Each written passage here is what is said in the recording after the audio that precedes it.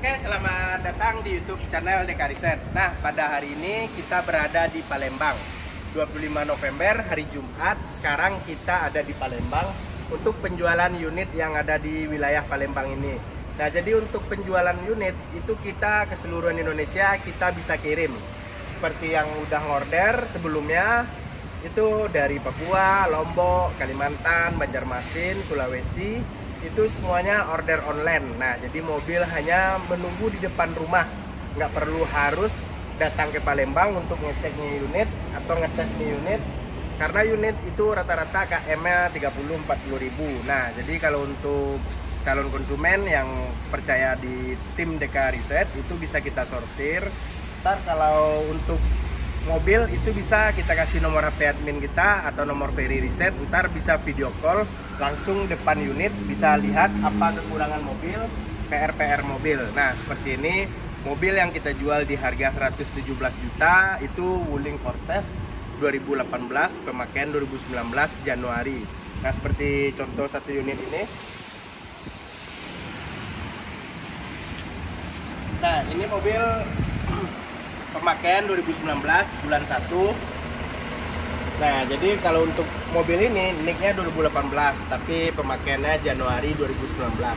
Nah, yang saya bilang tadi, untuk yang di luar daerah atau mau kirim-kirim aja, mau nunggu depan rumah, itu ntar kita bikin di deskripsi nomor Ferry Reset. Bisa video call, bisa ngecek mobil via video call. Ntar apa kekurangan mobil seperti ini, ntar kita lihat dulu apa kekurangan mobilnya nah seperti ini.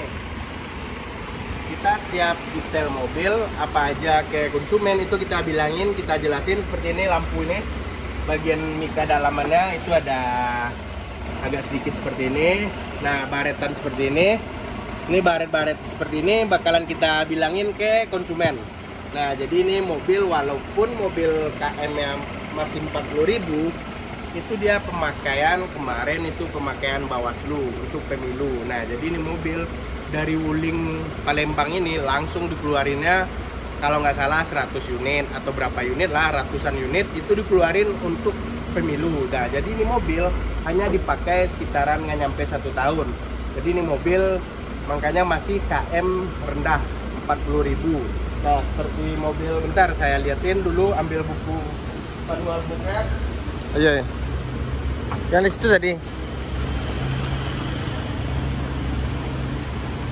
Kunci enggak? Ada. Nah, jadi untuk konsumen yang ragu kenapa KM lo itu di Wuling Palembang itu riwayat data mobilnya ada. Nah, jadi dia manual booknya, service rekornya semuanya ada di sini. Nanti bakalan mobil kita kasih ke konsumen itu semuanya ada, ada buku manual booknya, service rekornya itu ada, bisa langsung walaupun itu di wilayah Jakarta, Banten atau Bandung, itu semua showroom Wuling di Indonesia itu udah showroom resminya.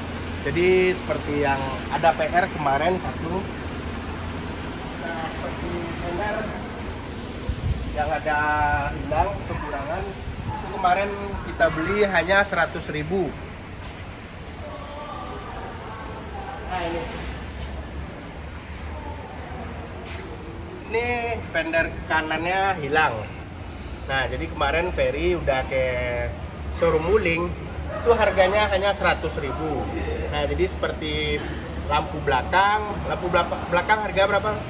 Ha, lampu belak stop lamp belakang itu harganya 400.000 425 nah mobil untuk sekelas tahun 2018 top lamp belakangnya kalau pecah itu harganya hanya 400.000 seperti power window kalau nggak salah 200 ribuan ya Power window dua tiga ratus tiga ratus ribu. Ribuan. Iya. Itu power windownya seperti yang kita lihat mobil ini.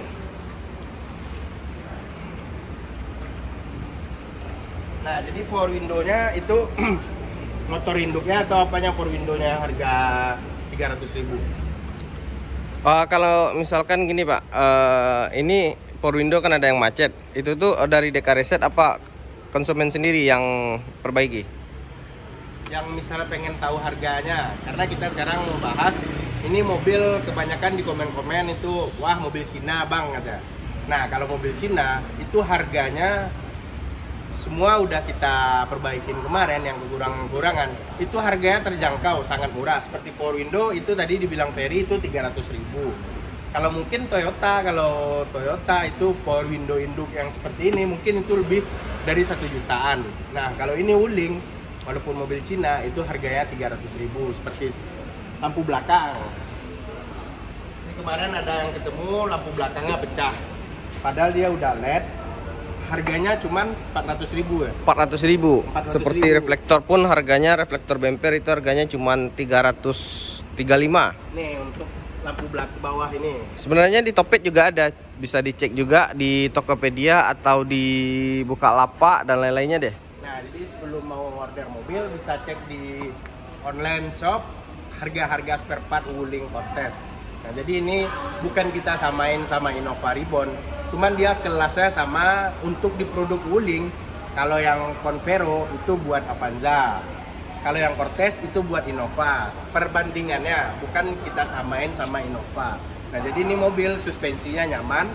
Nah jadi untuk mobil keluarga dengan budget 117 juta mungkin itu udah cukup udah cukup nyaman dengan hanya sesuai budget 100 jutaan itu nah jadi kita lanjut nih mobil seperti ini kalau untuk yang mobil random itu KM-nya ada yang 40.000 ada yang 30.000 seperti ini ini KM-nya 30.000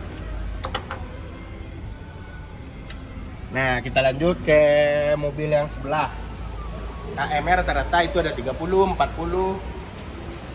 Nah, seperti mesin, nih bisa di shoot mesinnya, dengerin mesinnya.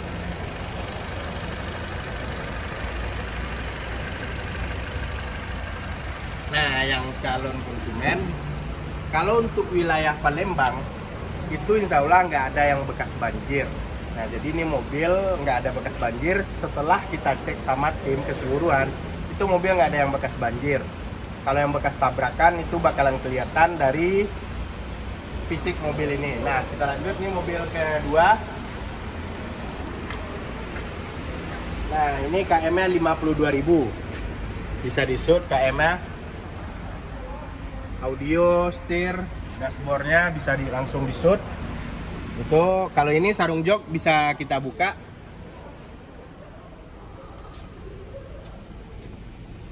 nah untuk kelebihannya ini mobil kelebihannya kita buka dulu belakang itu AC double blowernya untuk penumpang ketiga itu juga ada AC ya. Semburan AC ada. Untuk penumpang tengah juga ada seperti ini. Nah jadi untuk penumpang kedua itu AC di sini. Nah, kalau untuk penumpang yang ketiga, bagian AC-nya ada di belakang juga. Jadi untuk penumpang ketiga biasanya mobil-mobil yang lain itu cuma AC-nya cuma dua, double blowernya cuma buat yang tengah. Ini juga ada tuh untuk penumpang belakang. Nah, jadi untuk di wilayah Sumatera ini mobil udah ada yang dijadiin mobil travel. Kalau nggak salah ke Jambi ya. Jambi Palembang Jambi Palembang itu udah jadi ini mobil udah jadi mobil travel Jambi Pekan Pekanbaru juga pakai yang uling baru, ya udah pakai Wuling Cortez ini karena mobilnya suspensi di atas kenyaman sangat nyaman dan untuk bagian AC nya itu satu-satu penumpang dapat AC Nah berarti setiap customer yang order Nio nih contoh seperti lampu reflektor Ini deca yang ganti ya? Nah nih seperti ini. Nah jadi jadi customer sendiri eh, pokoknya tahu beres deh. Tahu tinggal gas aja. Nah lanjut ke mobil yang ketiga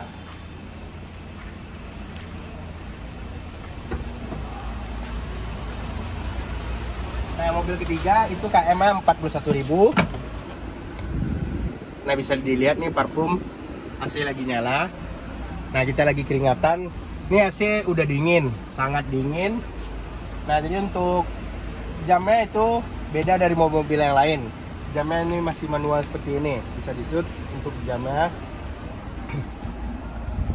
Ciri khas dari Wuling. Nah, ini audio dia nggak bisa pakai double din. Paling sama kayak mobil BMW